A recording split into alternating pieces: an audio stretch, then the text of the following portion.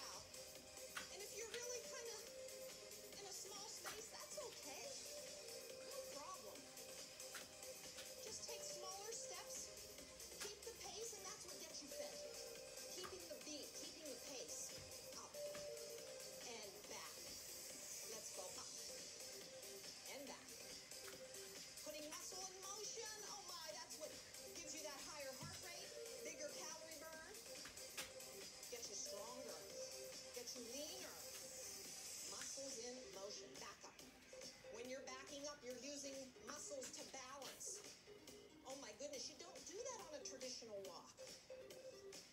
So you're using a lot more muscle than a stroll around the block. A little wee bump to the pace. Get your feet working first. This is the HIIT period.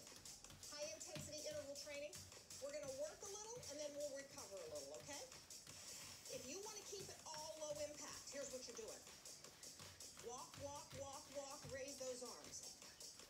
stay just like this for this short little session. But if you can't, look what I'm doing. I am simply coming up light on my feet. It is such a gentle jog, you really can't call it jogging. But guess what? It's boosted walking.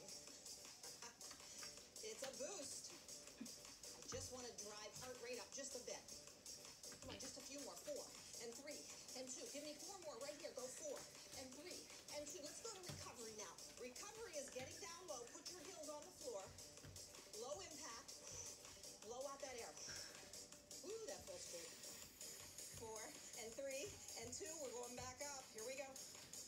gentle jar